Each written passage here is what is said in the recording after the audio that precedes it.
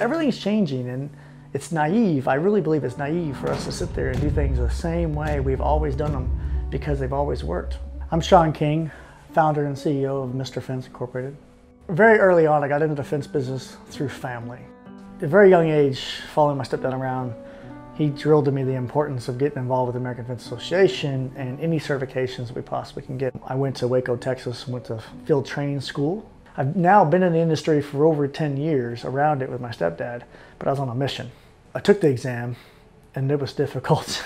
got the results and I remember that I passed on my first try at a very young age of 22, which was the youngest certified fence professional in U.S. history at the time. He's made a lot of sacrifices. I mean, it's so, he eats, sleeps, drinks, fence. What have you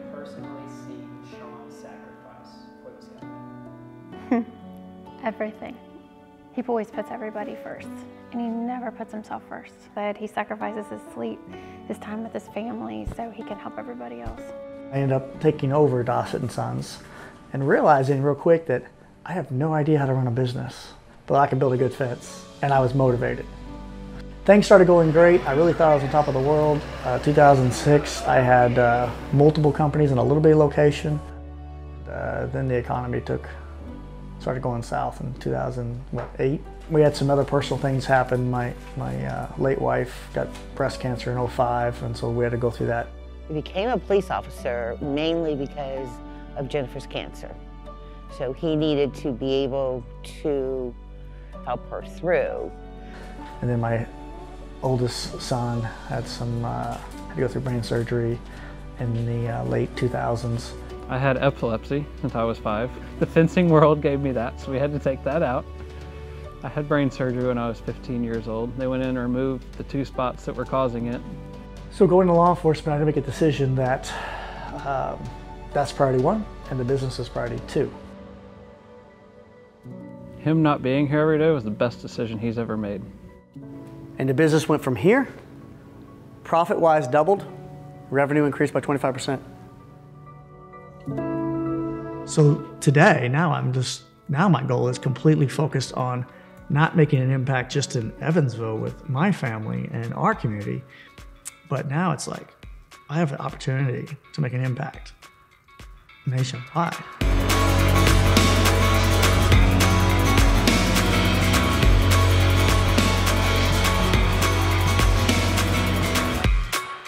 Mr. Fence today is in the business of building people that are changing lives in our community with a focus on making an impact, not only in themselves, but in a team plus one. We are much more than a fence business. We just happen to build fence in the process of developing and building people. We find team members, we don't find employees.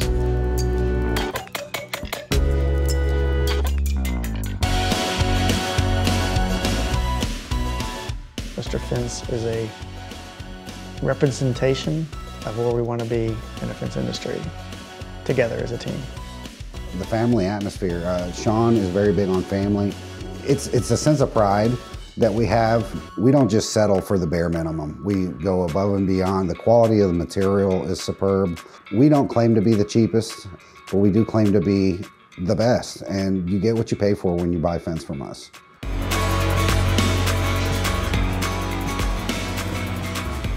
Mr. Fence is a fencing company.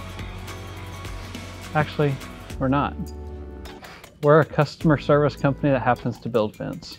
It's grown tremendously. Mr. Fence has exploded in the past few years. The videos, the YouTube channels, and then it just went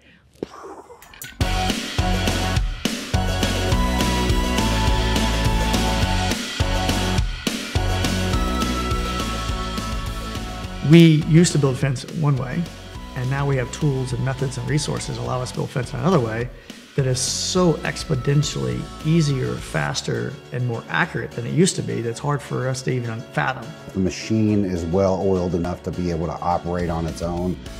He's just constantly trying to figure out ways to make things stronger and cheaper and giving more value to the customer so we can, you know, reduce costs.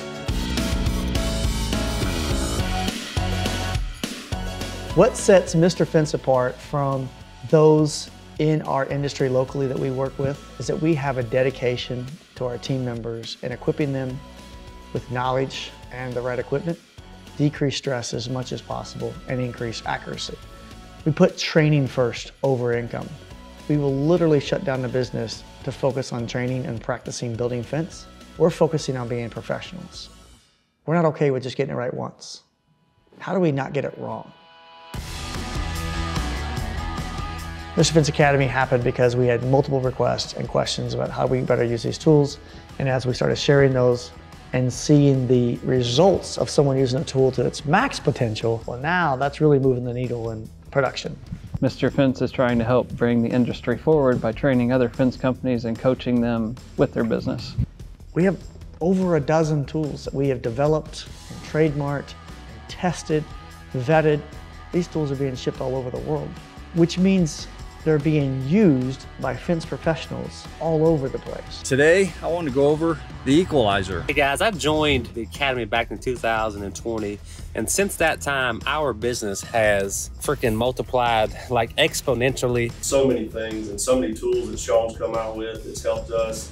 Um, I mean, anything from the equalizer to routing kits to uh, straightaways, you know, some people might say, oh, I don't need that. But once you get one, they're going to buy another one. It's transformational. This isn't happening anywhere in the United States. So a little over a year now, um, being in the academy, definitely changed my life and my family's life for the better. I mean, it's just mind blowing. So Mr. Fence Tools was brought into creation by things that we have found that we ran our company with in ways and methods that we found that made our installation easier and quicker.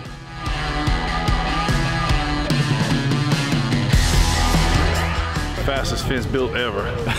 He's just really trying to bring the industry together as a whole. Being together is different. A game changer, there's nothing like it.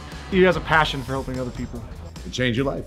That's our legacy. After we're gone, you look at the lineal of the fence industry was here, there's a change of direction for the better. We were part of that. And the more people we can help succeed will measure how successful we really become.